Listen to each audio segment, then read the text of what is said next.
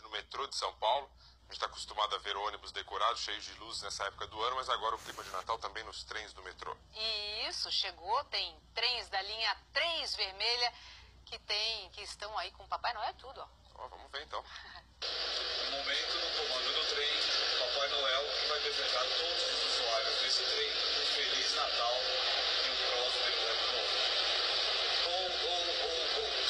Aos poucos, os passageiros percebiam que um trem diferente estava chegando à estação. Rapidinho, eles apontavam os celulares. Eu até corri com a moça porque é muito legal, muito da hora, gente. Né? Você gostou? Olha ele aí, de longe. Chegando à estação Corinthians Itaquera, da linha 3 vermelha. Era a primeira viagem do trem iluminado, colorindo a noite de São Paulo. Ah, na rotina muda, né? A gente não tá acostumado a ver uma coisa mais colorida, né? Esse mundo tão cinza que é São Paulo, né? Então diferença bem legal. 1.200 metros de LED e mais de 72 mil lâmpadas para decorar os seis carros que formam a composição do metrô. Nós escolhemos a linha vermelha por ser uma linha, uma das linhas maiores, né, mais compridas do metrô de São Paulo. Ela tem também o maior trecho a céu aberto. Ele vai estar operando aí é, durante o dia de domingo a domingo. E também tem música para embalar a viagem.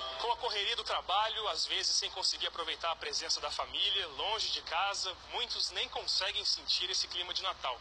E o que a gente ouviu de algumas pessoas aqui no metrô é que o trem iluminado e uma simples brincadeira com o Papai Noel ajudam a trazer o conforto que essa época do ano desperta em tanta gente. Você sente aquele clima natalino pelas luzes, é aquela velha lembrança do pisca-pisca.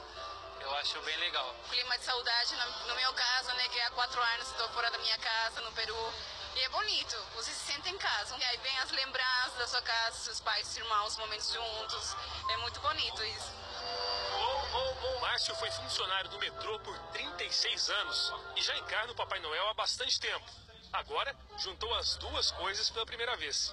Vale a pena, vale a pena. Se eu tiver muitos pecados, eu acho que eu estou pagando todos eles agora.